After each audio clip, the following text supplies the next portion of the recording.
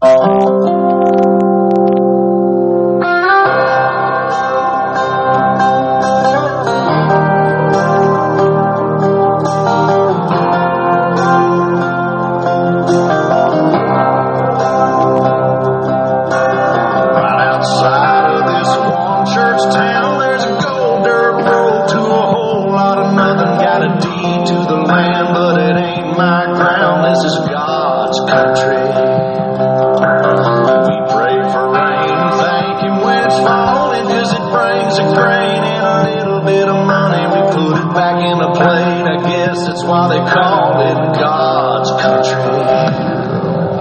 I saw the light in the sunrise, sitting back in the footy on the muddy riverside, getting baptized in holy water and shine with the dogs